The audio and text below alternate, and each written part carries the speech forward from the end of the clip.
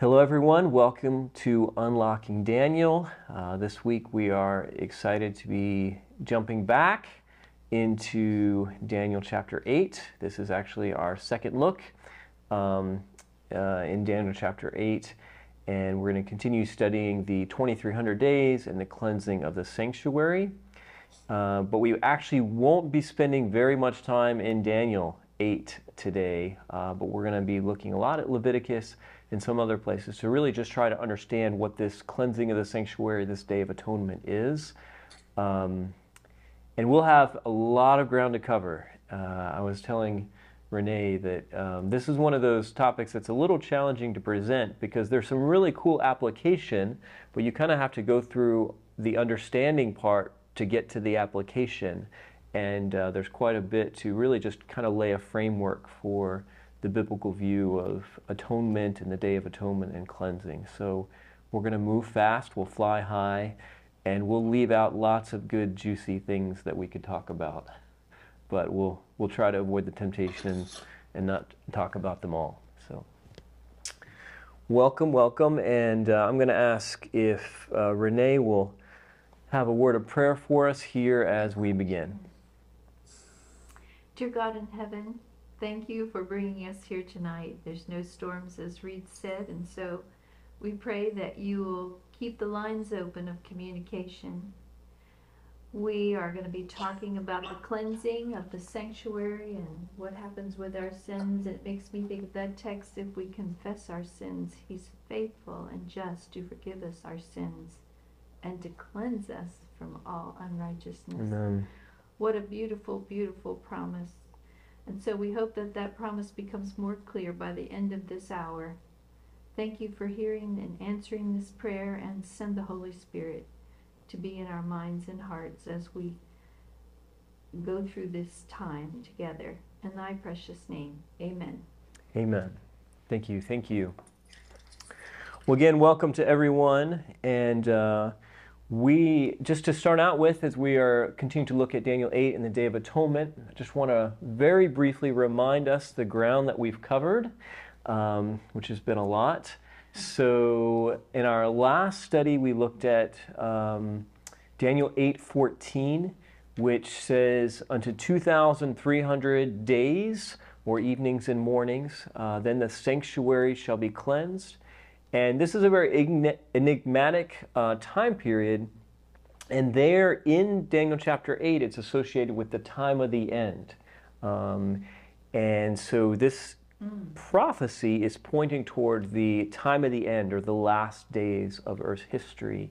And in our last study, we went and saw the connection between Daniel 8 and Daniel 9 and saw how this 2300 day prophecy pointed uh, each day representing a year in history, pointed from 457 BC up until the middle of the 19th century, till 1844.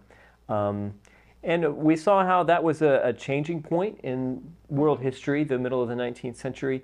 But we want to understand a little more specifically what does that mean from a spiritual perspective um, and how um, are we to take this idea of the cleansing of the sanctuary uh, so what we're going to do is we're going to go back uh, and look at Leviticus and that Day of Atonement, the feast of the Day of Atonement, and try to understand what's going on there and pull all these threads together. We, I can't even count how many threads we're going to try to pull together. We're going to weave a tapestry, but you know you got to make all the threads going horizontal before you can start the vertical ones.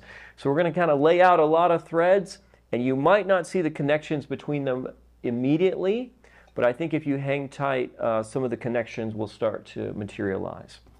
So, with that said, let me just very quickly um, remind us that last time we looked at the prophetic nature of the seven feasts of Israel. So, God gave the Israelites seven feasts uh, that they were to keep. And these feasts, uh, we saw, were not just commemorative looking back, but they were also prophetic looking forward. So, for instance, Christ, of course, was killed on the feast of Passover, and the Bible makes very clear that he's our Passover lamb. Um, the feast of unleavened bread, which represented cleansing, um, Christ uh, fulfilled, fulfilled, that following immediately after Passover. That's when, of course, cleansing uh, is is provided. He was the firstborn from the dead. Um, uh, and was raised on the, the Feast of First Fruits, Yom HaBikurim. Uh, we saw how Pentecost, the Holy Spirit was poured out on the Feast of Pentecost, which is a feast of harvest. And then these last three feasts uh, were feasts that happened in the seventh month. Um, so there's a gap. Uh, you have three feasts in the first month, uh, 49 days um, until the Feast of Shavuot uh, or Pentecost, and then you have these um, last three feasts that happen in the seventh month. And by the way, if you're thinking biblically, you can kind of see the, the biblical pattern, right? Seven represents completion. The world, you know, creation begins on day one, and you know it, it's it's it's completed with the, the rest of the Sabbath on the seventh day. And so we can kind of see that same sort of paradigm or framework with these seven feasts, in, you know, in the first month and the seventh month. Um, but something else I just want you to notice is that we also have a pattern of kind of six and then a series of six, and then a seventh that represents rest. That Feast of Tabernacles commemorated when they were brought to the promised land. God had told them, I will bring you to a place of rest in the promised land uh, there in Canaan. But we also know that in Revelation, the final rest, when God recreates, there's a new heaven and a new earth, and uh, you know uh, sin is done away with and, and, and, and gone that is pointed to by the feast of tabernacles in revelation 21 it says you know god himself uh, shall be with them. He shall tabernacle with them. Mm-hmm. it very specifically uses that word. And so that tabernacle is representing that final rest um, the, the, uh, our eternity with christ uh, in the new earth. So here's what's so interesting about this. You have a series of six, and then a seventh representing rest.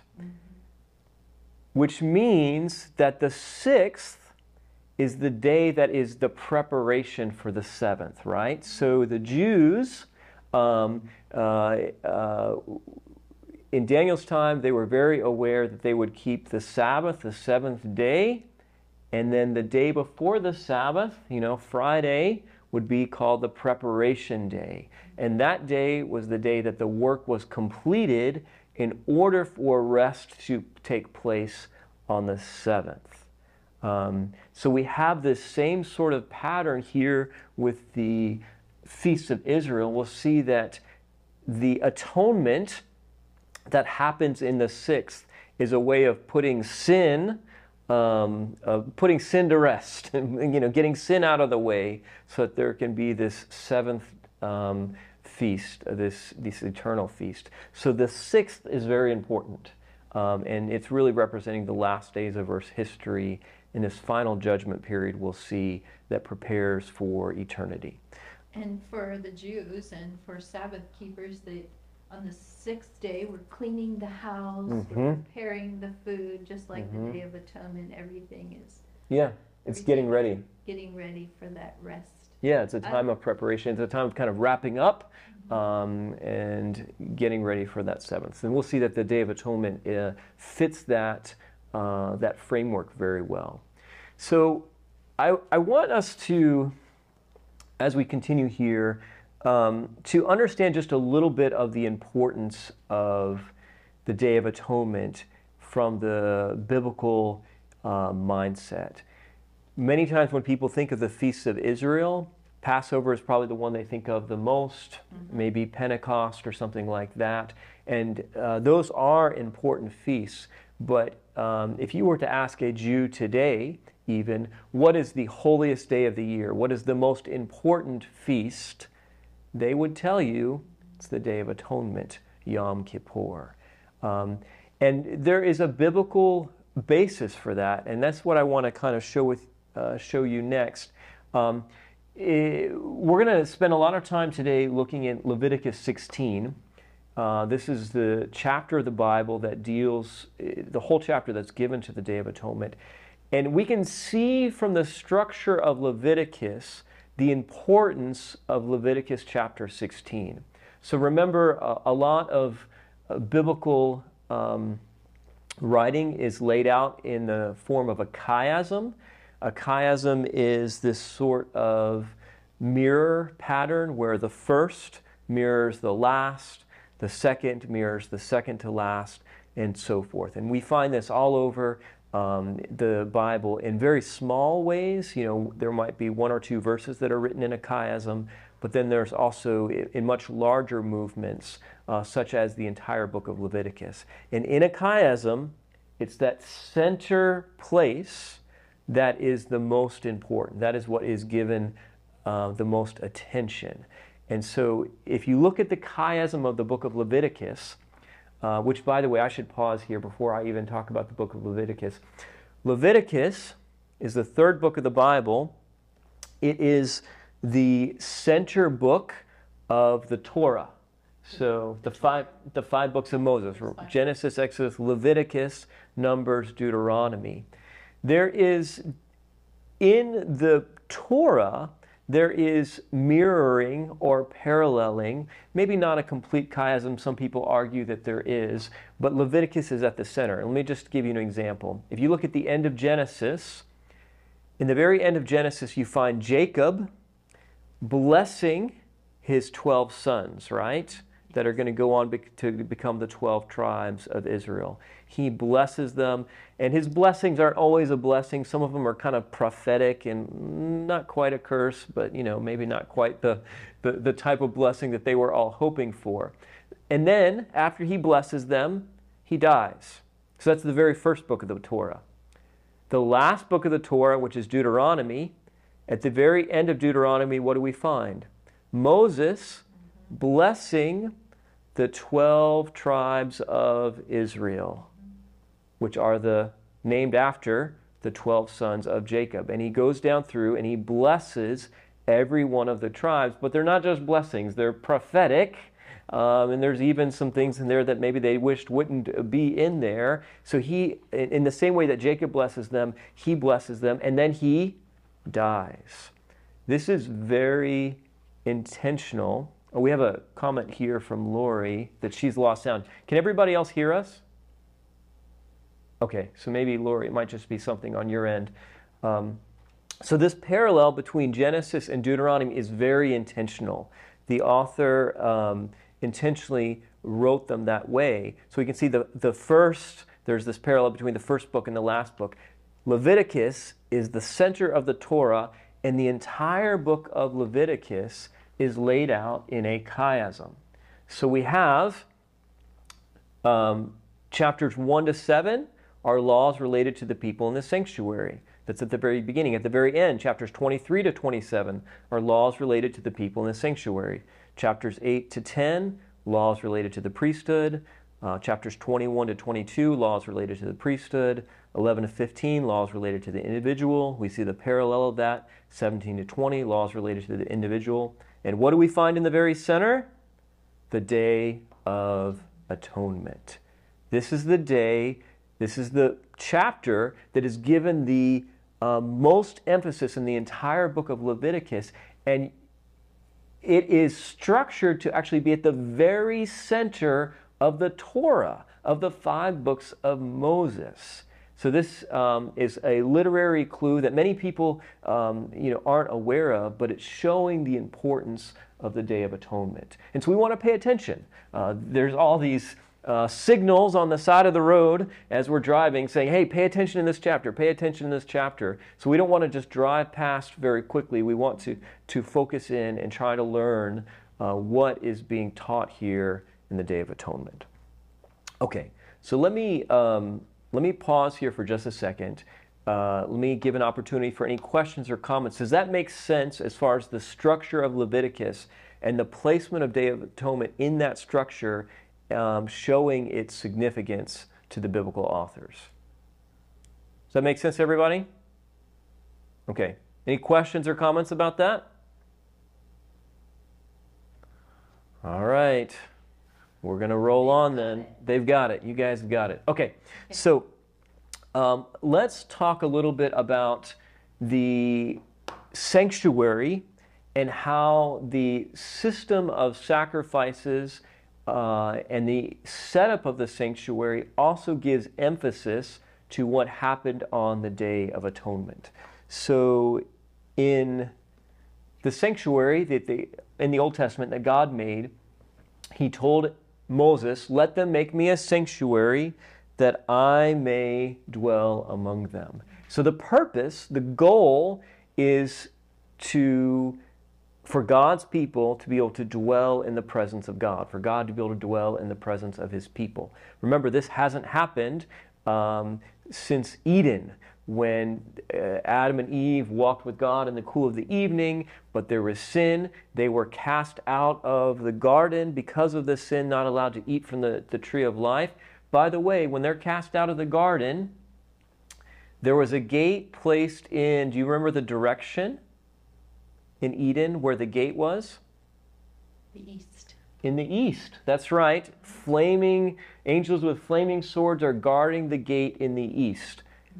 When you go to the sanctuary, you will find that the entrance to the sanctuary is a gate in the east. East. So the sanctuary is literally designed as to be a return to the presence of God that was lost, that used to be there in the Garden of Eden, but uh, was lost because they were cast out of the gate, and now they're going to return. In fact, as you approach and go through the sanctuary, you are approaching closer and closer to God's presence. God's presence is in the sanctuary, is in the most holy place. Um, that's the, the last compartment there inside the tabernacle, the building itself. He, the intensity of his presence resides above the mercy seat. Um, that's uh, called his Shekinah glory. Um, God's presence is everywhere, but this is a, a, the best way I can describe it is an intensity of His presence that was found nowhere else on earth. That He is um, um, there in a very real sort of way. As you go into the sanctuary, you are getting closer and closer to God's presence. It is a movement toward God. And in fact, the sacrifices of the sanctuary, when you would bring an offering to the sanctuary, those offerings were called korban. And that word korban literally means that which brings near. That which brings near. So the sacrifices of the sanctuary are bringing you near to God. Of course, it is sin that has caused the separation between God and his people. So the sacrifices are dealing with sin and they are removing the barrier between God and his people, which is sin. So let me just um, explain just a little bit more about the structure of the sanctuary and how that points toward the Day of Atonement. There's really three phases of ministry in the sanctuary. We see um, the outer courtyard where the sacrifices were offered. So you'd go into the gates You'd bring your sacrifice, you'd lay your hands upon the head of that sacrifice, you'd confess your sin. As you're laying your hands upon the head of that sacrifice, that act is signifying that you are transferring your sin, your guilt, mm-hmm. to the sacrifice, but then also this sacrifice is going to take your place. Mm-hmm. Um, it's going to be your representative. When Moses was going to die, and he wanted Joshua to take his place. God told him to. He places his hand upon the head of Joshua, and Joshua is now his replacement. Same thing happens with the sacrifices in the sanctuary. So imagine, put yourself in the, the, the, the, the sandals of an Israelite. Um, you put your hand upon the head of that lamb or that goat. Um, you confess your sin, and this goat is now going to take your place in your behalf. And by the way, the goat had to be without blemish. Um, um, that's, course, representing the, uh, uh, referring to the physical characteristics of the, the sacrifice, but it had a spiritual implication. Moses was said to be without blemish, without blemish meaning he is of upright, a pure character. So, an innocent, sacrifice is, is offered in your behalf. You confess your sins, you kill the sacrifice, It's offered there on the burnt altar. Um, the priest then would bring that sacrifice either by its blood or by eating some of it into the holy place. And this is the second phase of the sanctuary. So you have the outer courtyard where the sacrifice is killed, and then you have the holy place where intercession is made. The priest takes some of that blood and sprinkles it on the altar of incense, which is before the veil. Behind the veil on the other side is the most holy place where God's presence is. So every day, the priest is bringing this blood, sprinkling it there in the sanctuary, and day by day, that blood is being put there, interceding on behalf of the Israelites. So the first phase is the outer courtyard, the second phase is the holy place, and then once a year, on the Day of Atonement, then and only then the priest could enter into the final compartment of the sanctuary, the most holy place. So you have this movement courtyard, holy place, and then once a year to the most holy place. And by the way, we talked a little bit about this when we talked in Daniel 8 about the daily and how, yeah, the tamid, um, Tamid. tamid, the daily work of the priest um, with the offerings and the intercession. This takes place. And then that daily goes on every day, morning and evening. Um, but then on the Day of Atonement, there is an entrance into the most holy place, into the presence of God. Um, in the biblical mindset, atonement and full cleansing from sin has three stages, represented by the three stages of the sanctuary.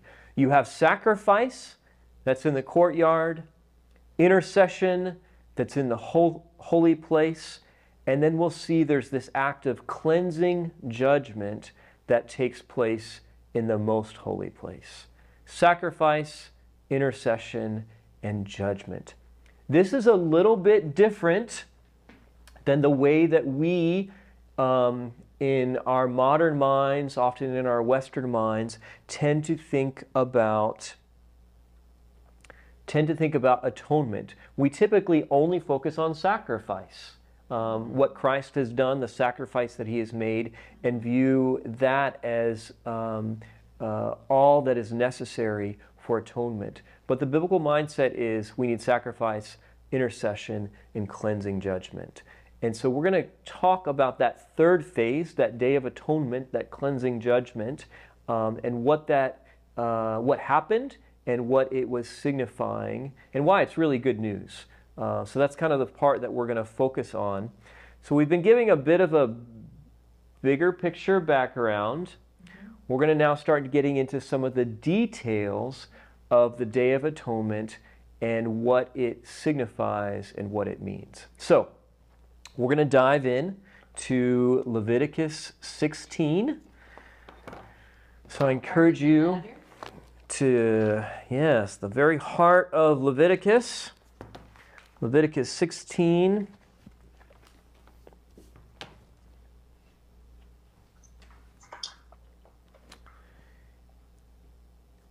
And I'm going to um, I'm going to put a few verses on the screen that are going to show us the end result of what is happening in Leviticus 16.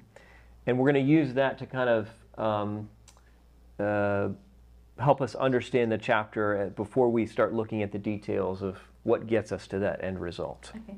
So, in Leviticus 16, verses 17 and 18, um, it gives us kind of the final outcome of what happened. So, Renee, if you'll read those verses for us. That he may make atonement for himself, for his household, and for the assembly of Israel. And he shall go out to the altar that is before the Lord to make atonement for it. Okay. This is talking about the work of the high priest on the Day of Atonement. So, notice that he makes atonement for himself, he makes atonement for his household, and for all the people of Israel. Okay, so far so good. He is atoned, uh, or atonement has been made for the people. But then notice the second part um, here. He not only makes atonement for the people, but he also makes atonement for the altar. He says he makes atonement for himself, for his household, for the assembly of Israel. But then he says he shall go out to the altar that is before the Lord to make atonement for it. Now that is the altar of. Ah, this is interesting. Um, is it the altar of burnt offering or the altar of incense? I'm, I'm not going to answer that question. We're gonna. I'm gonna. As we go along, let's see if you can figure it out. All right. As we go along, let's see if you can figure it out. Okay. So he's going to make atonement for the altar, or you could say for the sanctuary, if it's kind of a proxy for the whole. Um, now that's interesting. That's not how we typically think, right? We understand atonement being made for people, but why is atonement being made for the altar or for the sanctuary? All right, let's keep digging here a little bit. Notice Leviticus 16 19. If you'll read that for us, Renee. Leviticus 16 19 on page 109. And uh, then he shall sprinkle some of the blood on it with his finger seven times, cleanse it, and consecrate it from the uncleanliness of the children of Israel. Okay, so here it's talking again about the altar. The priest is going to sprinkle some of the blood from the sacrifice that's offered on the Day of Atonement on the altar seven times. And notice it says that he cleanses the altar, that this act of sprinkling the blood cleanses the altar. And notice what does he cleanse it from?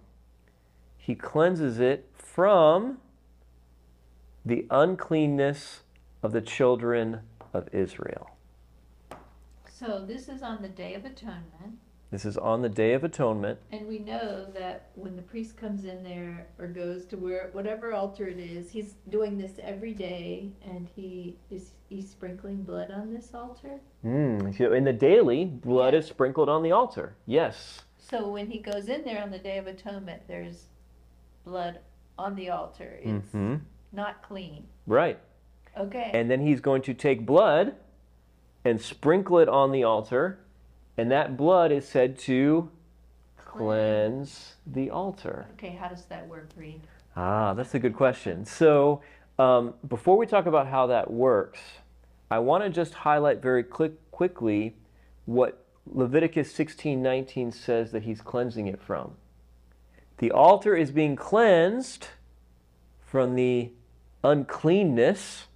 That's kind of a, a awkward word. You could say the um, the, the the defilement of, or even the sins of, the children of Israel. So somehow, the sins of God's people have defiled the altar. The sins of God's people have defiled the altar, and it has to be cleansed.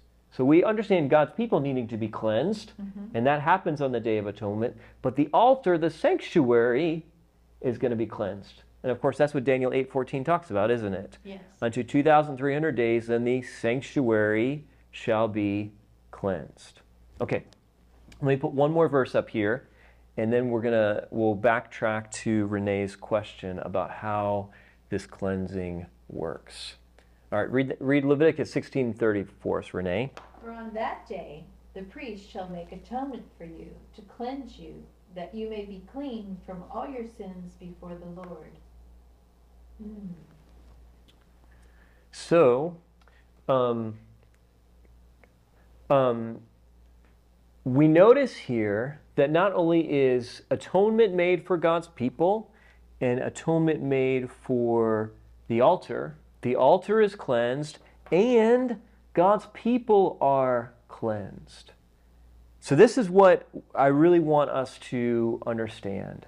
The cleansing that happens on the Day of Atonement, the cleansing of the sanctuary is twofold it's a cleansing of God's people, and it's a cleansing of the sanctuary.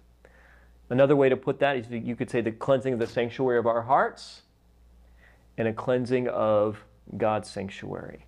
Um, so there is there's two aspects to the cleansing on the Day of Atonement. Two aspects of atonement: God's people and the sanctuary itself. Now, this is not very intuitive to us because we typically only think of cleansing in terms of humans being cleansed. But we've talked about how the sanctuary in the Old Testament represents the sanctuary in heaven. How could there be a need for cleansing of the sanctuary in heaven? Yes, how is that? Because we think of heaven as being perfect and clean and Yeah, pristine. right, So right. How, how does it need cleansing? Kind of this ivory tower yes. uh, separated from the uncleanness and the sin of earth. But here we have a picture of the sanctuary itself needing to be cleansed because of the uncleanness or the defilement that has been brought into it, and that is the defilement of the Israelites that has been brought into the sanctuary. So, to understand the symbolism and how this is working, we need to understand the symbolism of blood in the Old Testament. Um, we're going to see that blood in the sanctuary system represents two things. Um, and if we only think about it one way, it's going to be very hard for us to understand the Day of Atonement. To understand the Day of Atonement, we have to represent, understand the twofold symbolism of blood. Now, I've got a hand up here. Let me let me grab this hand from Joe or Toya or Brandy or one of them. And I don't mean to interrupt your Sure. flow, um, did this continue until the temple was destroyed? hmm Yes, it did. Um, the Day of Atonement, the cleansing of the sanctuary, continued all the way up through until the destruction of the temple in 70 AD. Now, there were time periods where it lapsed and it didn't take place. For instance, in Ezekiel 8, just before, um, well, so the cleanse, the, of course, the temple was destroyed twice. So destroyed by the Babylonians and then again destroyed by the Romans. So in Ezekiel 8, um, we can see that probably the Day of Atonement wasn't happening, right? Because you've got idols there in the sanctuary itself. I don't think they're keeping the Day of Atonement if they're doing that. Um, so, but up until then, it, it had been going on on a regular basis. And certainly during the time of Christ, uh, the cleansing of the sanctuary, the Day of Atonement was taking place. Okay, good question. So we're going to look at the twofold symbolism of the blood in the sanctuary service. The blood in um, the Bible is representative of life. And because it is representative of life, it can represent two things. So here in Leviticus 17:11, which is just after uh, the chapter we're looking at in the Day of Atonement, it says, "For the life of the flesh is in the blood, and I've given it upon you, given it to you upon the altar to make atonement for your souls, for it is the blood that makes atonement for the soul." So this is a very important verse because one, it lets us know that the sacrifices from the biblical perspective, the life of the sacrifice that's being offered is considered to be a gift from God. This isn't a gift that they are offering to earn their salvation. God says, I have given you the life of that sacrifice, the blood that has been shed, to make atonement for you. So notice where it's coming from. It's not considered to be coming from the Israelites, although they're taking it from their flock, but the gift of that sacrifice on their behalf is considered to be from God. And God says, I'm giving the life, the blood, for you to make atonement. So the, the, the, blood, the life is in the blood. We can't live without it. That blood represents the life, and that life is given in atonement for the sins of the Israelites. So, in a similar way, in verse 14, we see, for it is talking about the blood, for it is the life of all flesh, its blood sustains its life. So, the blood represents the life that is shed for the Israelites as a gift from God to make atonement for them. And here's where it gets a little bit interesting. Um, if you notice that in the Bible, when you look at blood used as a symbol, you will see that it represents both guilt and cleansing. Now, we're not going to go through, these are just some examples of verses on the screen. Um, you, we could find many more. Uh, you might want to take a screen capture or something of this, and you can uh, check these verses out later. But if you were to look up all the verses on the left hand side, you will see in all these verses, blood is used as a symbol of guilt. If you were to look at the verses on the right hand side, you'll see that blood is used as a symbol of cleansing. So think for a minute about uh, the very first verse there in Genesis, Genesis 4. Cain kills his brother Abel, mm-hmm. and God says to Cain, the voice of your brother's blood. Crying out. Yeah, crying out to me. Now, that's not literally taking place. It's, he's using uh, symbolic language, but he's saying that blood is symbolic of your guilt. That blood represents your guilt because you've taken an innocent life. Mm-hmm. He has shed innocent blood. He has taken an innocent life, and therefore that blood represents his guilt. We can think about many other examples. Um, when Pilate uh, doesn't want to be guilty of the death of Jesus, what does he say uh, to the priests and the Pharisees and those Jews who were responsible? He says, His blood be upon you, mm-hmm. meaning the guilt of his death be upon you. But we could also say that in the Bible, blood not only represents guilt, but it also represents cleansing. And we have many examples of this in Scripture. Let me just look with you at one example Ezekiel 43, verse 20. And that's on page 849. 849. All right, Ezekiel 43, verse 20. Remember, Ezekiel is a contemporary to Daniel. He is describing uh, a prophetic vision of the rebuilding of the temple. Um, and notice what he says in verse 20 of Ezekiel 43. You shall take some of the blood and put it on the four horns of the altar, on the four corners of the ledge, and on the rim around it. Thus you shall cleanse it and make atonement for it. Okay. So this is pointing toward a day of atonement that Ezekiel is prophesying. And notice what he says the blood is providing cleansing for the altar. Um, we can find uh, language, of course, where um, the blood of Christ provides cleansing for God's people. Uh, there's many places where blood is used to symbolize cleansing. All right. And that's what it symbolizes the blood of Christ, mm-hmm. the animal. Mm-hmm. Yes. You know, even in the modern world, we we think of blood as life, don't we? When you go mm-hmm. to the mm-hmm. doctor and he wants to know how much life you have in you, what does he do? Yeah. Or the technician checks your blood. Yeah. Yeah, they draw some blood out and they look yeah. at it under a microscope, mm-hmm. so we mm-hmm. can relate to that. Yeah, yeah, very much so. So here's how these two aspects of the blood come together. In the daily service, sacrifice is brought to the temple.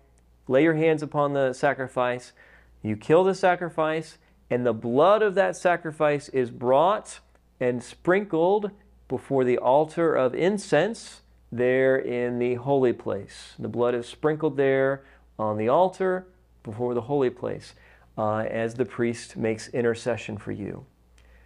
When that blood is sprinkled there on the altar, it represents cleansing because the sinner is being cleansed and experiencing forgiveness, but it also represents guilt. Because what has the sinner had to do? They've had to confess their sin mm-hmm. upon the head of an innocent animal. That innocent animal had to die because of their sin. That blood is brought into the sanctuary and that blood, yes, is a record of their cleansing, but is also a record of the sin that was committed to cause that innocent life to be shed. So the, the blood is representing both cleansing and guilt. Every day, it's being sprinkled there before the altar of incense. And every day, there's a record of cleansing, but it's also a record of guilt. Now, how does this work from a heavenly perspective? If the sanctuary in the Old Testament is representing the true tabernacle, the true sanctuary in heaven, how does this work? How can defilement or guilt be brought into heaven itself? Well, I want you just to think a little bit about the process of forgiveness. And this is kind of going back to your question, and you can let me know if we answer it all or not.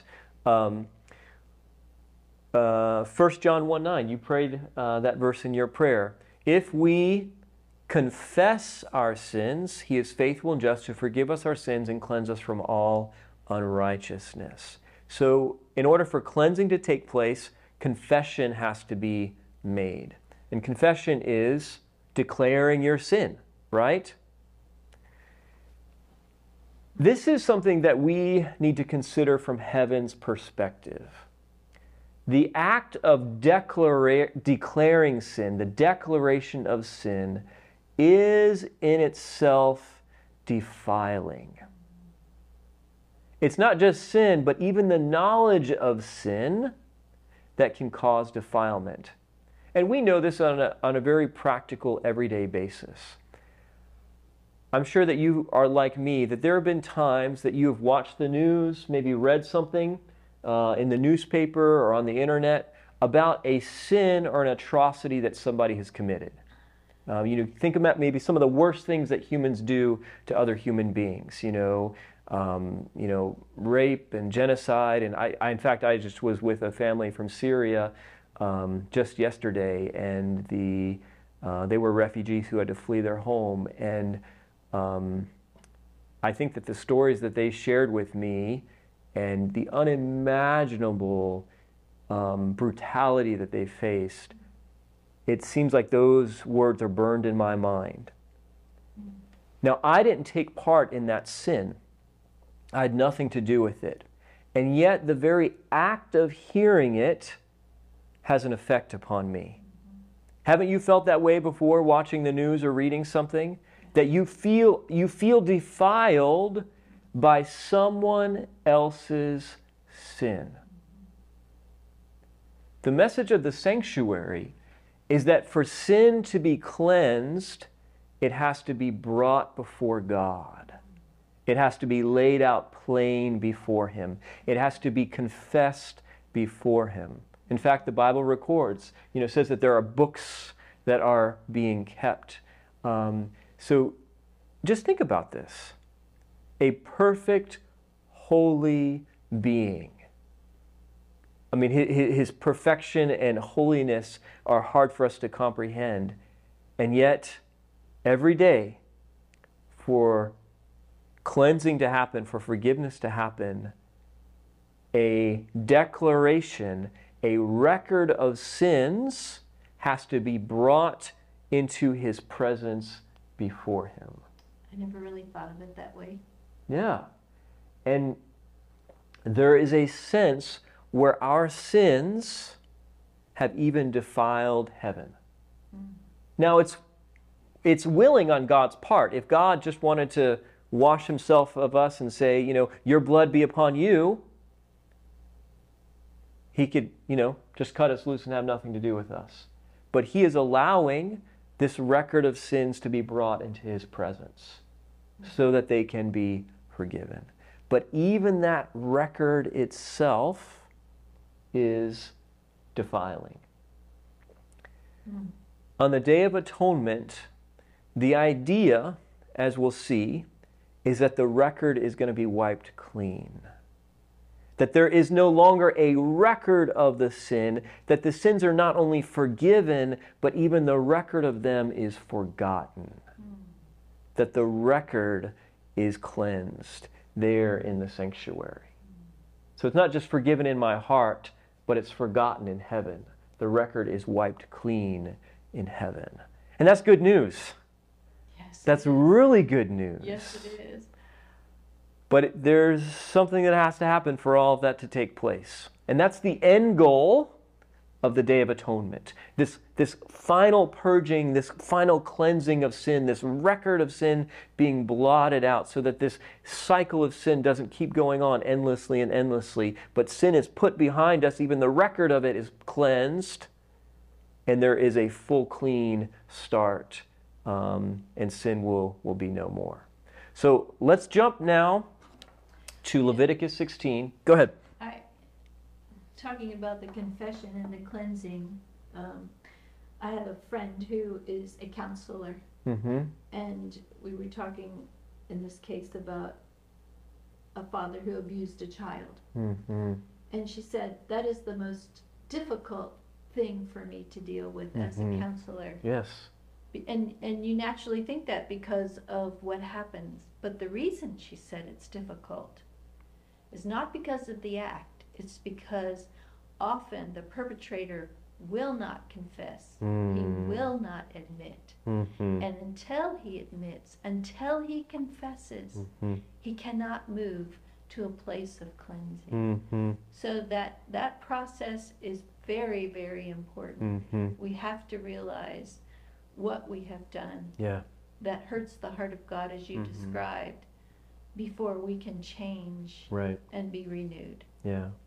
And you know the the the Bible speaks um, against you know this human tendency to cover our sin, Yes. right? Adam and Eve, you know. Yes. But it's uh, cleansing happens when it's laid bare. yes. and you know the the gritty ugly details you know the the reality of our sin is brought there before god in all of its ugliness Yes. and then it's cleansed Yes. then it can be dealt with Yes. um, and that's not easy to do no, that's not easy to do No. um, the human tendency is to want to withdraw and uh, you know flee um, rather than bring our sin in the presence of God. But that's what's happening in the Day of Atonement. Sin is being brought into the presence of God and then expunged, cleansed uh, fully and finally. So, okay, let's jump in Ezekiel, I mean, uh, Leviticus 16 here. So, if you'll turn with me, uh, we were there a little bit earlier. It's page 109, depending on the verse you're choosing. Yep. Uh, so if you're using the Bibles that we provided, um, we are on page. Actually, we're going to be on 108. Um, we'll read the first two verses here to give us a little bit of the narrative context of what's going on. And we're reading verses 1 and 2. Yeah, one and two. If you'll read those for us. Now the Lord spoke to Moses after the death of two, the two sons of Aaron, when they offered profane fire before the Lord and died. And the Lord said to Moses, Tell Aaron your brother not to come at just any time into the holy place inside the veil, before the mercy seat which is on the ark, lest he die. For I will appear in the cloud above the mercy seat. Hmm. So Aaron, his sons, Nadab and Abihu, had brought this profane fire before God. Um, they had done what was right in their own eyes, rather than following the instruction of God. And um, not only was this um, a sin against God, but they are to be representatives to the people. And so there's a judgment that takes place. Um, they are killed. And Aaron is being told, Aaron, you, you have to do not what is right in your eyes, but the way that God has instructed you. And God can only be approached in the most holy place, not any time, but just this one time of year on the Day of Atonement. Um, and that's where it says he will um, appear in the cloud that's above the mercy seat. So this is him coming into the presence of God. Um, and uh, maybe I should just say this very quickly. Um, uh, the, the biblical view of God's presence is not that God is so mean and terrible that when we come before Him, you know, He kills us. Um, but it's it's more that he is so other than us. Yeah. He is so powerful. He is so holy um, that we can't just kind of uh, lackadaisically just you know go in however we want. He's good, um, but his goodness and his presence is so intense that we need to um, approach him on his terms and not our own. Consuming fire. Yeah, You can't just go up and touch yeah. a consuming fire. You think about that fire in the fireplace. It's good. It brings warmth, Yes. um, but you don't want to just reach your hand in there. Right. Um, and its very nature is what you know. Uh, uh, being hot is what provides that warmth, but it also means that it is um, dangerous in a sense yes. if approached in the wrong way. There's physiological components to the fire of God, and He wants to protect us, but He wants to be near us Yeah. at the same time. hmm And uh, of course, uh, all all of this also is um, wrapped up with the idea that we are sinners approaching the presence of a holy God. Yes. And so uh, Leviticus 16 is how we, um, how God's presence is approached on the Day of Atonement there in the most holy place. Okay, let me. Uh, I see Lori has got a hand up for a question or a comment. Lori, uh, please, what's your question or comment? so many ministries that are trying to downplay the requirement of confession, Hmm. one, and also that God has any kind of requirements in, of any kind. Mm-hmm. Um, and I think they're just trying to make God seem, I don't know, like a lovable stuffed animal that has nothing, you know, no no requirements at all. Mm-hmm. Um, but it definitely seems to be one of the uh, stumbling blocks that have been thrown out there in this time. hmm Yeah, so Laura's comments about those who seem to minimize the, the biblical view of God having requirements and ways that He is to be approached.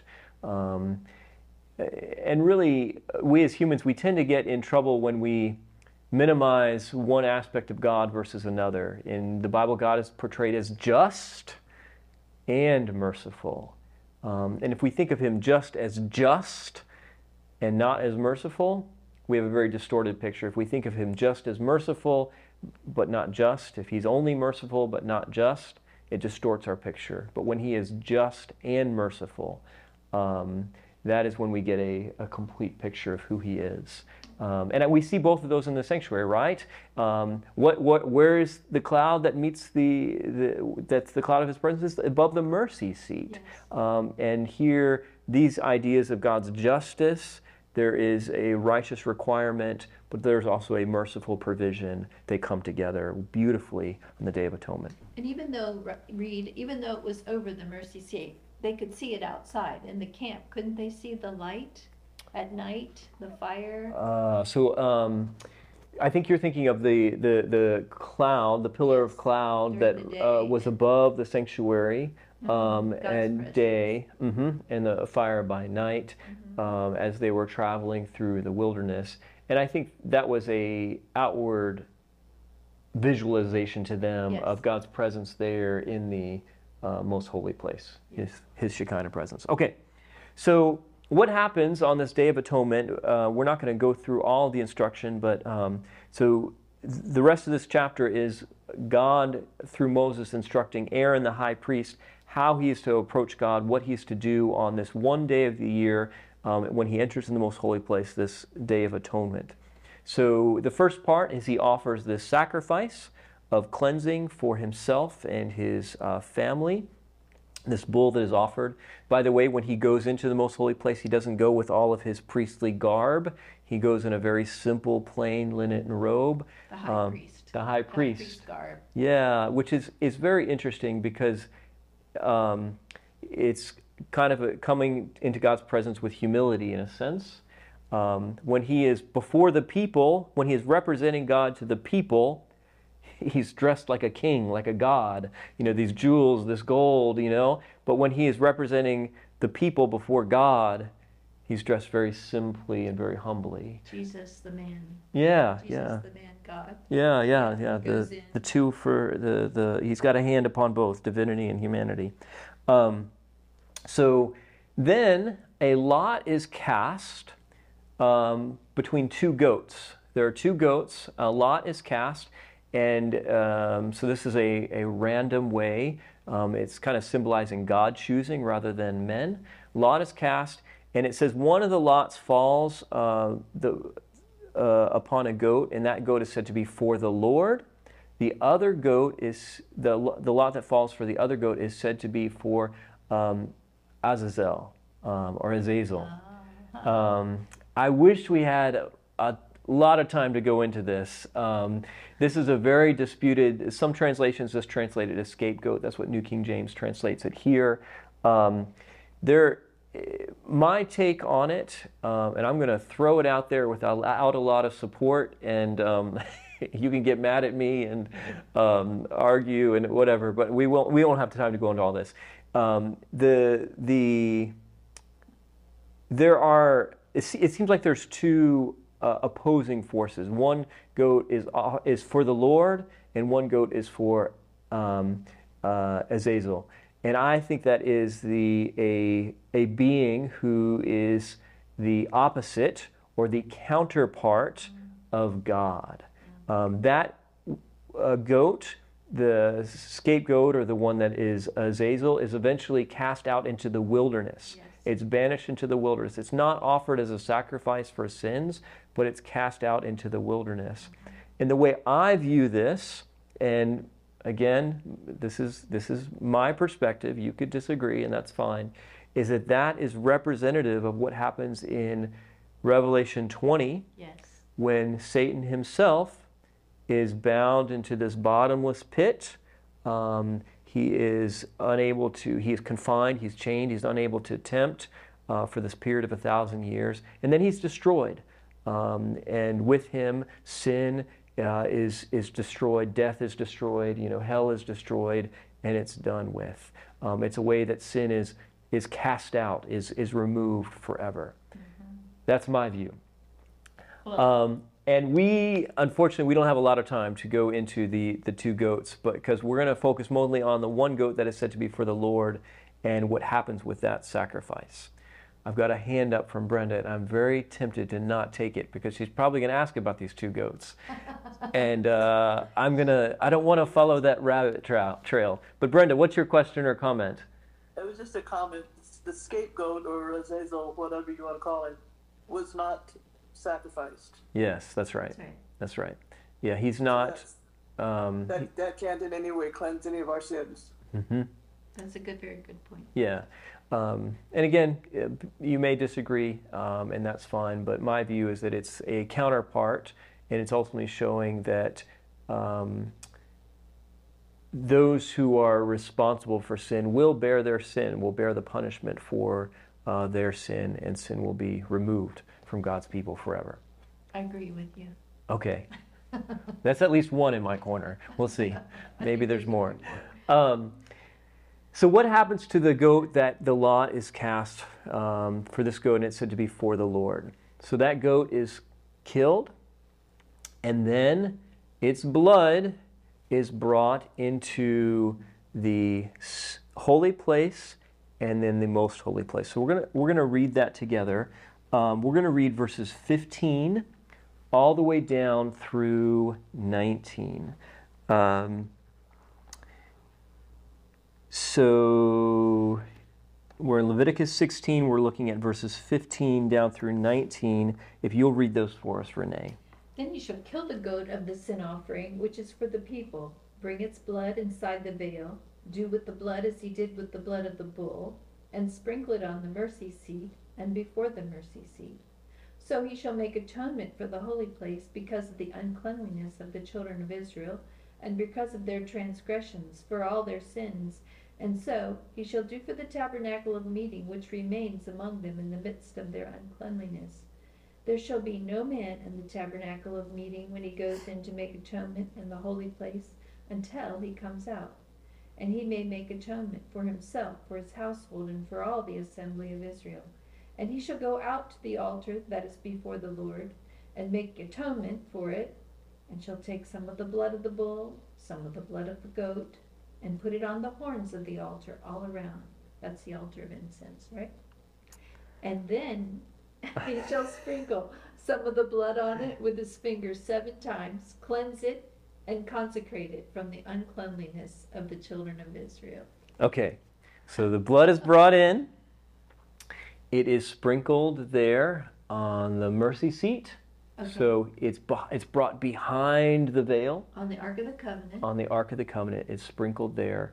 Um, he is said to also make atonement in the holy place. the holy place. Um, so this would be uh, where the Ark of Incense is, the altar, Altar of the incense. altar of incense is, and then it's interesting. It says he goes out. Yes, then he goes out. So I think that the altar that is being referred to when he goes out is the altar of burnt offering. Oh, okay, because I thought when it says the altar that is before the Lord. Yeah. So um, it all I think is in a sense before the Lord. Um, it anyway. It could be interpreted that way, but to, I think because it says he goes out that he's offering it. So he. If you think about the stages, it's kind of reverse. Um, uh, most holy place, mercy seat. Then he makes atonement for the holy place, and then, And he, then goes out. I hear you. Okay. And, and that curtain is is open between the holy and the most Mhm. holy place on the Mhm. Day of Atonement. Yes. Um, so in verse 20, it kind of gives this um, uh, summary. And when he has made an end of atoning for the holy place, the tabernacle of meeting, and the altar, he shall bring. And then he goes on to bring the live goat. So he's he's he's the whole thing is being cleansed. Yes. Um, you know, top to bottom. Uh, it's this. Uh, it's not a spring cleaning; it's a fall cleaning, I guess. But um, the the the sanctuary is being cleansed. So let me just kind of go back to our um, symbolism of the blood. So every day, the blood is being brought. The blood is being brought. That symbolizes cleansing for the individual, but it also is guilt that is being brought before God, confession of sin. On the Day of Atonement, that blood is cleansed with blood, right? It's brought, and we're talking symbolically here, right? blood, As in the blood that's brought in every day is Mhm. cleansed by the blood on the Day of Atonement, yes. Okay. On that goat that is said to be for the Lord, sins were not confessed on the head of that goat. Um, uh, so it is, in a sense, fully innocent. The blood that is being brought is fully innocent. And the sanctuary is being cleansed of the record of sins with the blood that is brought in on the Day of Atonement. And so, this, in the mind of the Israelite, meant that each day that I bring a sacrifice to the sanctuary, my sin is transferred in a sense to that sacrifice. It's brought there before God and put in His presence um, each day. But on the Day of Atonement, that sin that is brought in there before God is cleansed forever and it's gone. Um, so the record of that sin is blotted out. And that sin is not only no longer on me, but it's no longer in the presence of God. And it's forgotten, it's gone.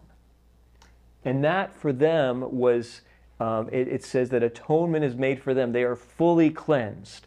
That, I mean, you can think about the idea of, um, you know, even the record, the memory of your sin being wiped away.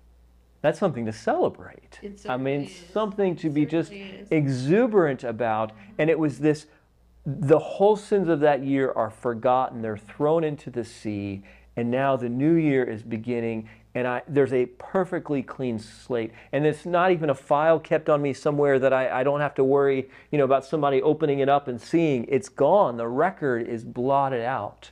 And the cleansing is perfect and complete. That reminds me of a story that Ivor Myers tells. Okay, yes. Yeah, Ivor Myers, and it for the first time, it really made sense to me when he told this story, where um, we clean the house, ladies. We know you men too. we clean the house and we take the trash out to the backyard. There's a big receptacle here in Newmarket. We take it to our backyard, put in our trash from the Mhm. week.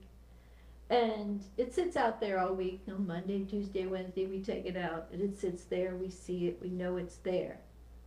Ah, but one day a week, this big, huge trash truck comes Mm-hmm. and takes all that trash away, and we never see it again. It's gone. And that's the Day of Atonement. And we don't even think about it again. no, I'm gonna think of how much trash have I thrown away in my life, and I don't even. I mean, it's it's once it's gone, it's gone out of my mind. yes, it's gone, Mhm. and um, it's wonderful. And then everything is really clean. Yeah, I really like that illustration. Um, uh, I'm gonna modify it just a little bit. Okay.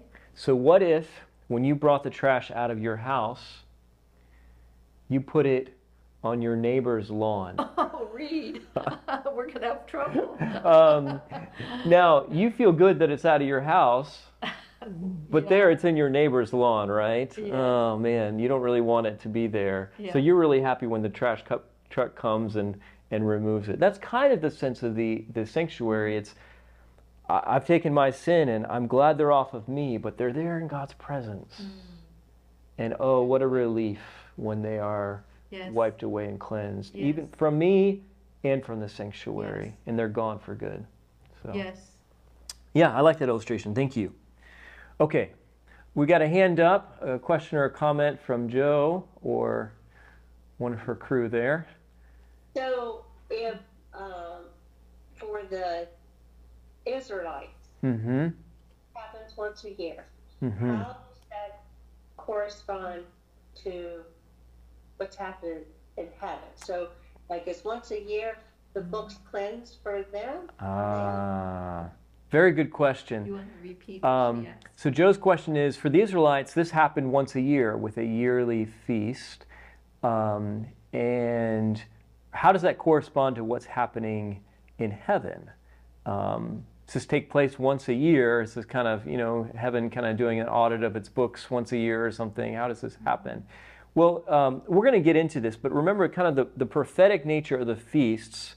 Um, even though Passover pointed toward Christ you know, it happened every year, but it pointed to Christ's death. It happened once in kind of the scope of cosmic history.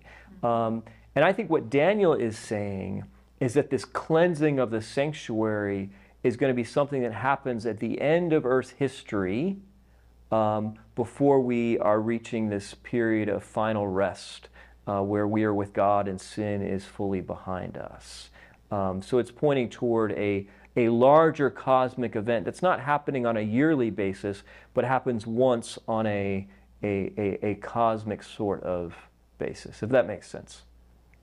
God is a really good teacher. You know, the remedial um, sanctuary, and He has us act out things. Mm-hmm. So we, we really get it in our heads. Uh, Mhm. we don't as much as the Israelites did now, Mm-hmm. but He's acting. We're acting out what's going to happen, as you said, Yeah. prophetically. Yeah, yeah, exactly. Um, and that's that's a good transition maybe to the next verses I want to read together in Leviticus 16 on what this meant for the individual Israelites as they're acting this out, as they're going through this, and um, that uh, that mindset will help us to understand a little more of the the what the day means in the context of Daniel. So we're going to look at Leviticus 16. Um, let's read 29. Oh. Well, let's just read all the way through 34, just just to kind of get the the full scope here. Okay, this shall be a statute forever for you. In the seventh month, on the tenth day of the month, you shall afflict your souls and do no work at all, whether a native or your own country or a stranger who dwells among you. For on that day the priest shall make atonement for you to cleanse you, that you may be clean from all your sins before the Lord. It is a Sabbath of solemn rest for you, and you shall afflict your souls. It is a statute forever. And the priest who is anointed and consecrated to minister as priest in his father's place shall make atonement, and put on the linen clothes, the holy garments, Then he shall make atonement for the holy sanctuary, and he shall make atonement for the tabernacle of meeting, and for the altar, and he shall make atonement for the priest, and for all the people of the assembly. This shall be an everlasting statute for you, to make atonement for the children of Israel for all their sins once a year. And he did as the Lord commanded Moses. Okay. So again, atonement is being made for God's people, but also for the sanctuary. And notice what they are supposed to do. They're not to work, right? Mm-hmm. So this is a day of, of rest, uh, but it's called a day of solemn rest. So it's not um, joyous in the, the, the, the sense of maybe some of the other feasts, but they are to afflict their souls. Uh, they are to, you know, be searching their hearts, confessing their sin, repenting of their sin. In a sense, I think what they are doing is they are making sure that their trash has gotten out of the house and to the curb because the garbage truck is on its way, right? And I mean, I don't know if you ever did this. I remember as a kid, um, it would often be my chore to take out the trash, but I would forget the night before. And when it would come at like six o'clock in the morning, Yes. I would hear it coming down the street. and I would quickly, I would have to run out and get the trash and put it out on the curb. Um, and I think that's kind of that urgency is kind of what's happening on the Day of Atonement. Make sure that your sins are in the presence of God so that they be, can be cleansed and forgiven. Uh, because the trash truck is coming and you don't, you don't want to miss it.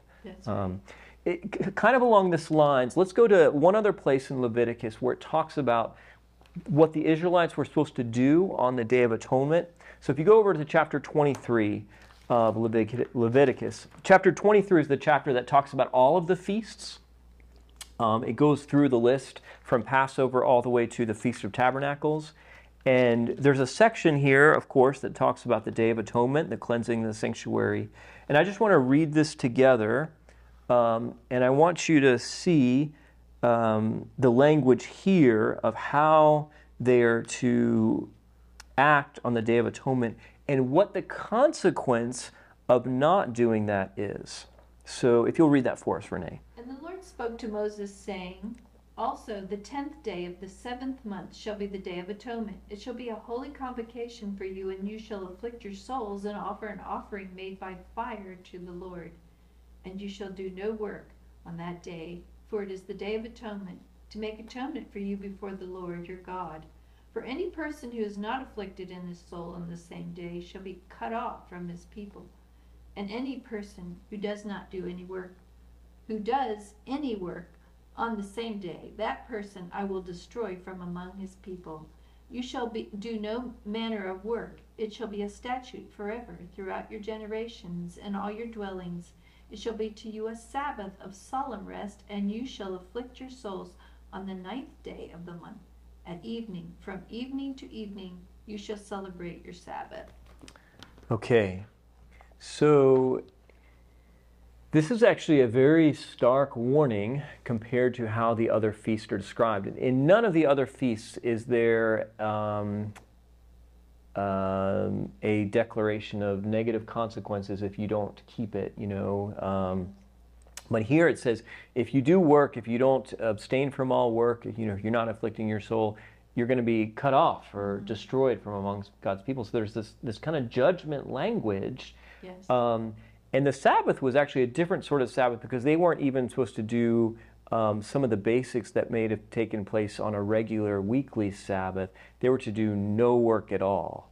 Um, so you know they're not um, preparing you know food, and I mean there's just no work that is being done. Um, they're keeping it um, in a very um, strict, I guess you might say, but the, the idea is they're very focused on what is going on in they can't see it in their with their eyes but their hearts are supposed to be kind of fixed on what the high priest is doing there in the most holy place and making sure that their sin is there before god um, and if they don't do that it's said that they are to be um, cut off or you know there's this language of judgment.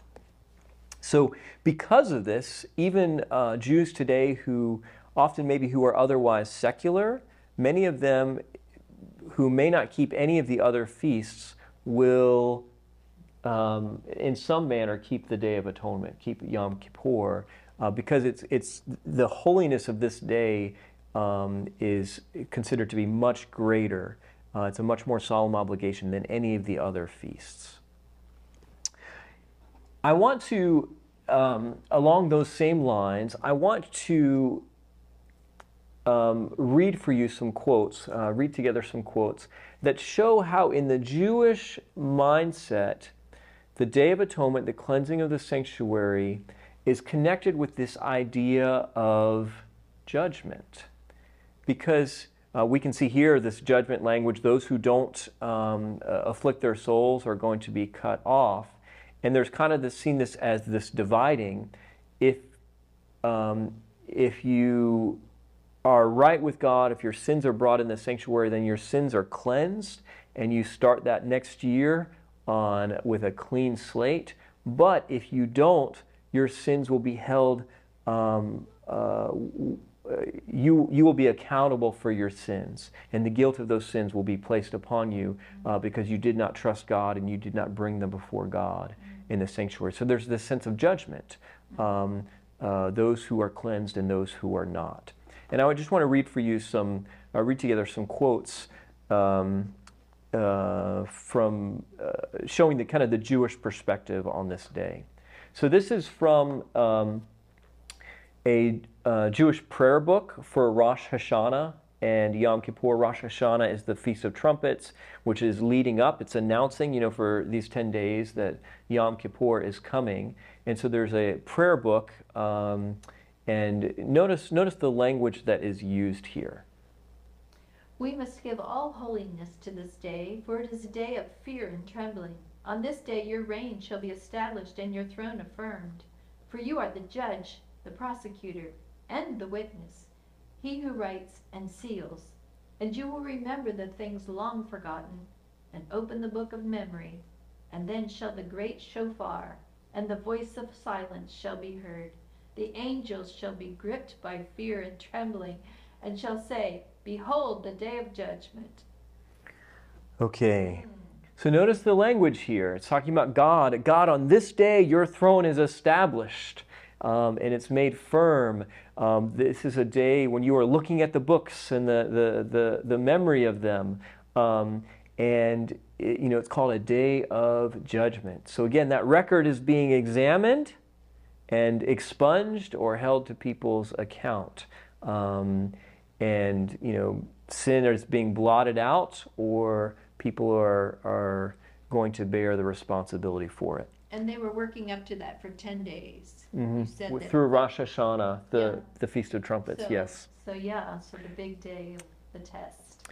Now, notice this quote from uh, this is the Jewish Encyclopedia, a very standard uh, reference volume for um, uh, uh, Jews, and uh, this is from the 1906 edition. And notice on the entry of the Day of Atonement what it says.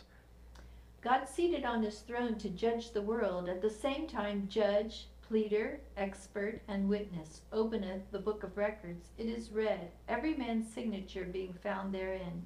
The great trumpet is sounded, a still small voice is heard. The angels shudder, saying, This is the day of judgment. On New Year's Day, the decree is written. On the day of atonement, it is sealed. Who shall live, and who are to die, etc. But penitence, prayer, and charity may avert the evil decree. I'm hearing words of revelation. Yeah, there's a lot of words of revelation there. In fact, of course, Revelation is really going to pick up on uh, many of the themes of the the Feast of Trumpets, the Day of Atonement, this final cleansing of sin, this final uh, judgment, so that um, sin can be done away with, and there can be this reign of righteousness, this the final Feast of Tabernacles. Yes, So the- happy part comes. Yeah, the happy part. So we've got to get this this ugly stuff, you know, cleansed and get the the, the garbage out so Get that we can, clean. yeah, get the house clean so that we can have the happy part. So notice again the language, um, the books, judgment, um, and there's this uh, examination whether the the you're going to be found, um, uh, you know, life and death really is what it says. You know, Life and death. uh, life and death. Um, so, with with all of this, I want us to kind of consider um, what these things mean from a spiritual perspective. So we, we kind of looked at what happened in the, the Old Testament and the Day of Atonement, but uh, let's zoom out now and look at a, at a bigger perspective. You know, what is this cleansing of the sanctuary? Uh, what is this prophecy that points to the cleansing of the sanctuary? What is um, that looking like from a, a larger perspective? Um, the Bible is clear that heaven itself needs cleansing from human sin that took place on earth. And we've talked about this. We, we saw the symbolism of that there in the sanctuary. I want you to turn with me to Hebrews chapter 9, verses 22 and 20 uh, through 28. So we're going to go to Hebrews chapter 9. That's 1153. Hebrews 9, 22 through 28. And according to the law, almost all things are purified with blood, and without the shedding of blood there is no remission. Therefore, it was necessary that the copies of the things in the heavens should be purified with these, but the heavenly things themselves with better sacrifices than these. For Christ has not entered the holy places made with hands, which are copies of the true, but into heaven itself, now to appear in the presence of God for us. Not that he should offer himself often, as the high priest enters the most holy place every year with blood of another he then would have had to suffer often since the foundation of the world. But now, once at the end of the ages, he has appeared to put away sin by the sacrifice of himself. And as it is appointed for men to die once, but after this the judgment. So Christ was offered once to bear the sins of many. To those who are e- who eagerly wait for him, he will appear a second time apart from sin for salvation. Okay, beautiful verse here. Yes. So notice, just, just notice the basic framework here in Hebrews 9. Heaven has to be purified by the blood of Christ. And he's going to do this. It says at the end of the age, heaven will be purified and sin will be put away. Amen. Will be finally fully put away. Now, that's just amazing to think about. Um, so, again, our sin that is confessed is brought before God. And that act, even though it's an act of cleansing for us, there's a sense of defilement as that record, that confession of sin is brought before God. And here in Hebrews, it's saying that, that heaven itself is cleansed through the blood of Christ, and that record of sins at the end of the ages is done away with mm-hmm. so that sin can be fully and finally put away.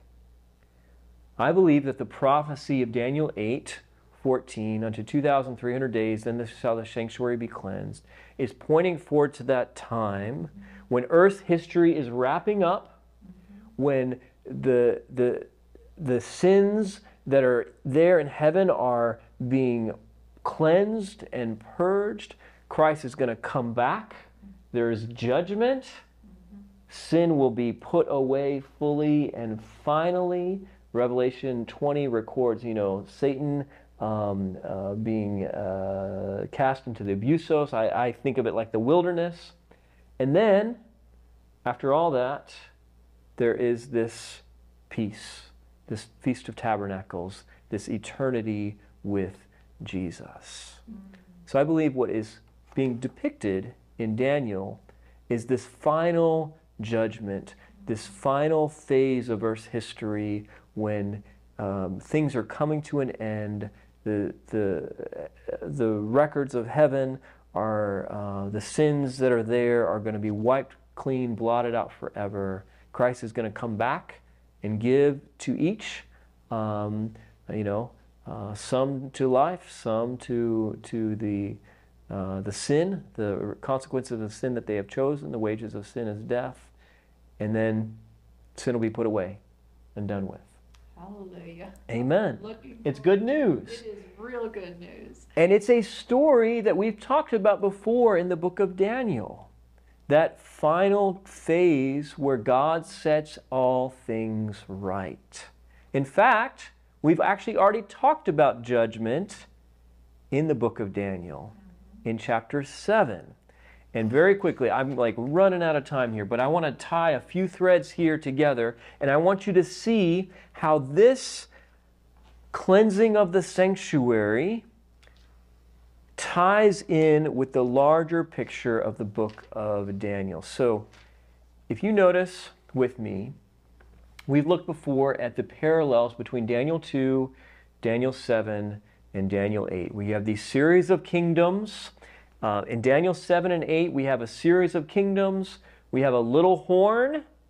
And then notice what happens right after Daniel, the little horn in Daniel 7, and right after the little horn in Daniel 8.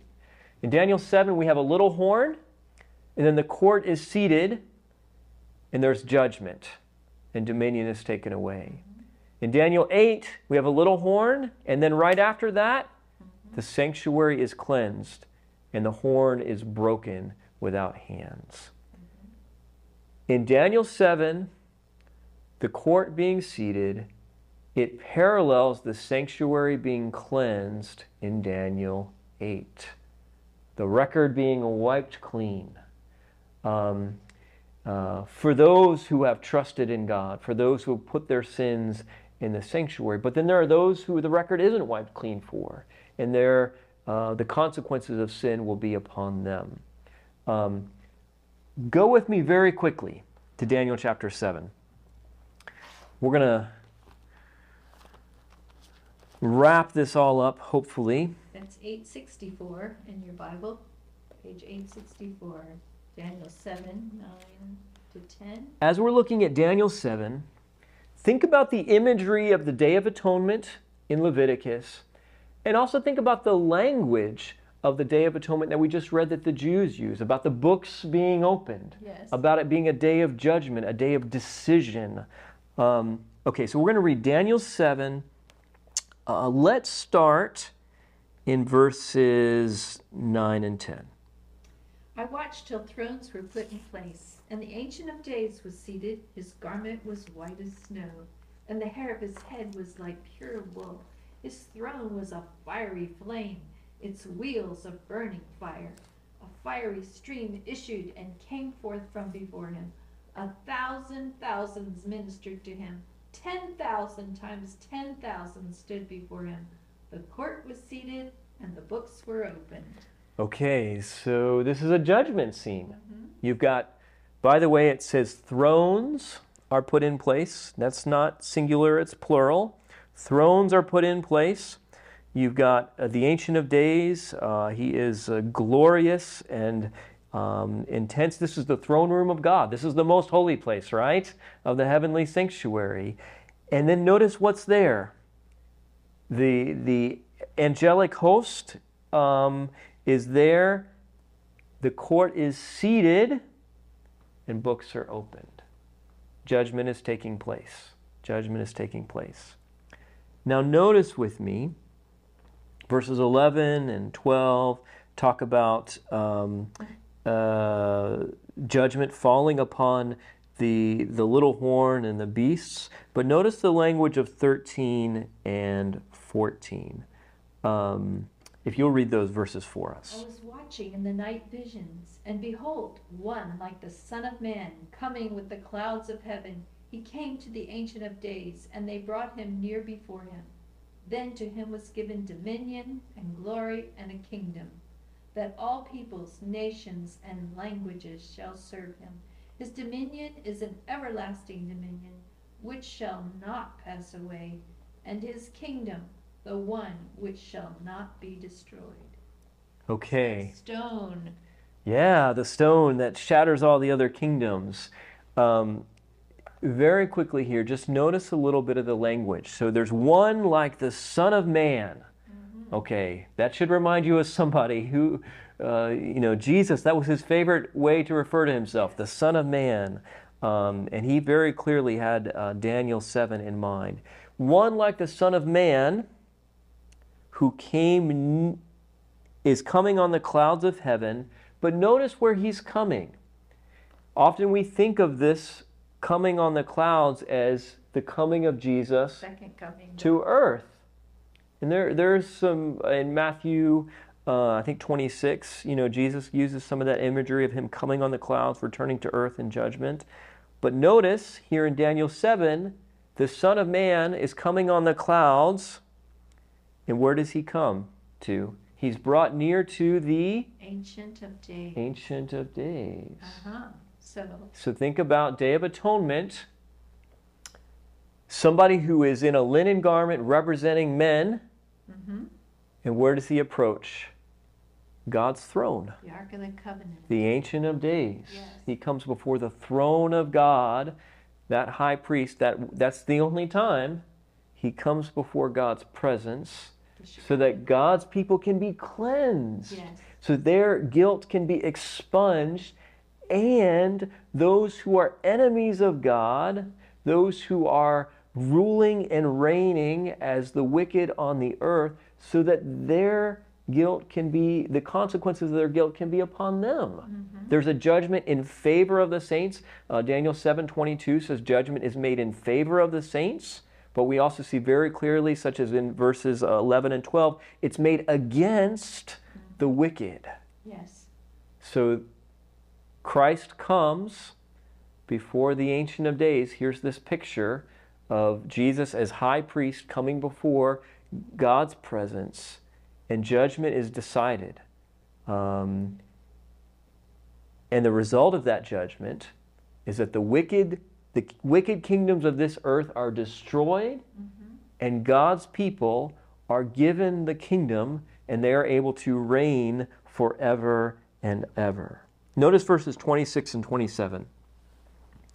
Uh, if you'll read those for us, But Renee. the court shall be seated, and they shall take away his dominion to consume and destroy it forever. Then the kingdom and dominion and the greatness of the kingdoms under the whole heaven shall be given to the people, the saints of the Most High. His kingdom is an everlasting kingdom, and all dominions shall serve and obey him. So, this is the good news of Daniel Yes. that there is a judgment coming where those who are trusting in God, favor is going to be granted to them. Yes. Now, think from Daniel's perspective have God's people been spotless?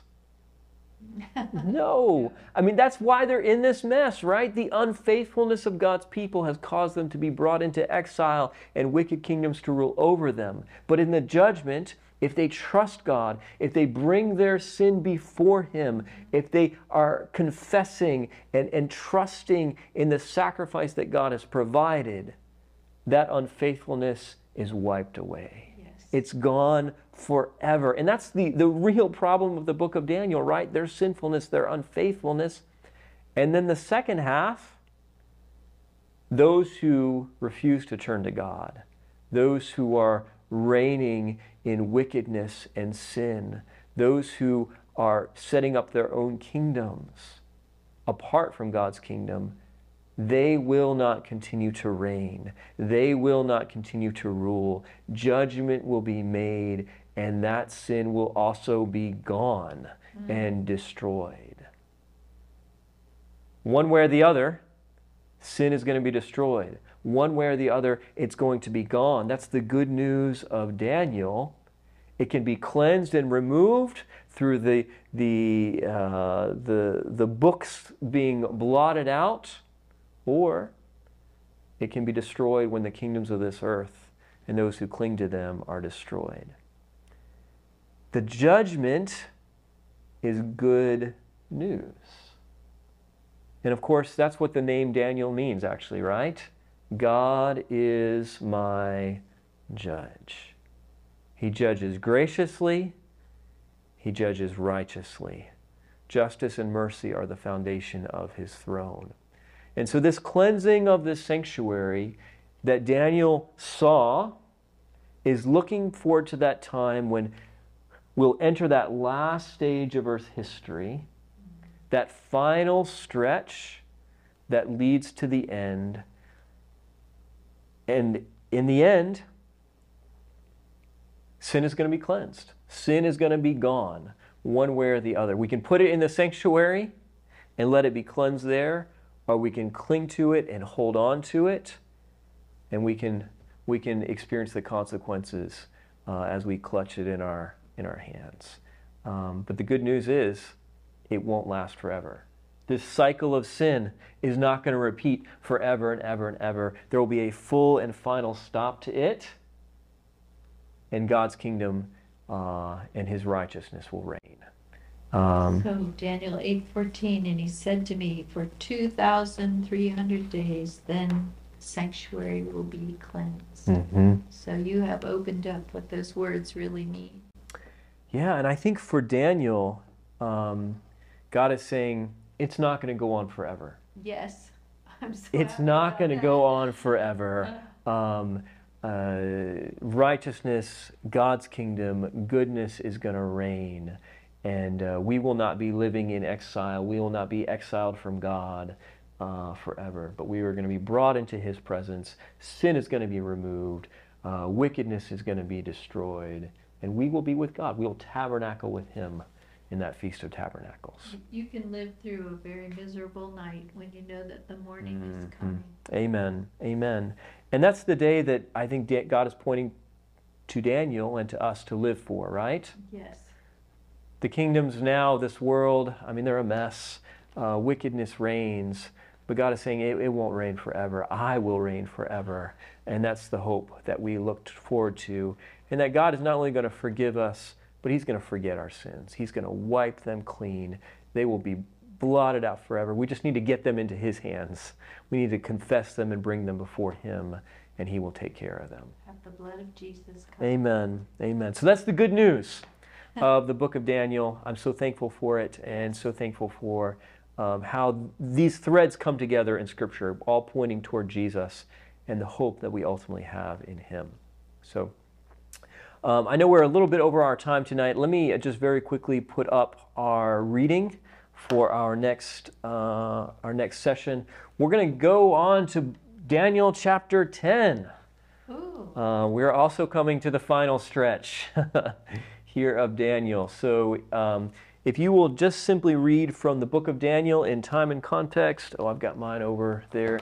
Um, this is going to give you some of the context for um, Daniel chapter 10 and will be very helpful in understanding why um, why Daniel is uh, fasting and praying in Daniel chapter 10 uh, and what is going on with God's people. So uh, I encourage you to uh, read this section here. Uh, we'll look at Daniel chapter 10 and um, uh, the, the larger picture that is there.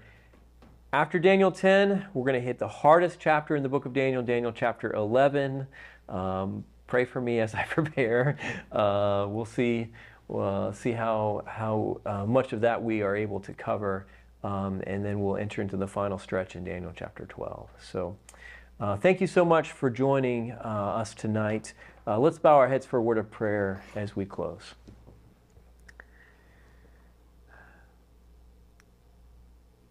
The words, Heavenly Father, in Daniel 8:13 are how long? And we have often wondered that same Lord, how long will wickedness go on forever? Will sin reign? Um, will righteousness be ridiculed and oppressed? How long? And yet, Lord, we find here in Daniel this message of hope that no, it's not going to go on forever. And in fact, we are living in that time of the end. We are living in the last days of history when all is being wrapped up, when all will be made right, and you will reign forever. Oh Lord God, we want our hearts, our sin, all of us, to be brought into your presence. We want to experience your cleansing. We want um, sin to be gone never more to come between us and you. And thank you for the hope and promise uh, that you will do just that. Thank you for Jesus, our perfect sacrifice, our perfect high priest. And we look to him, we trust in him. And Lord, by his grace, may we live for him and for his kingdom. We pray these things in Jesus' name. Amen. Amen. Thank you so much for joining us tonight. We look forward to seeing you uh, next week. We will uh, dive into Daniel chapter 10. God bless you.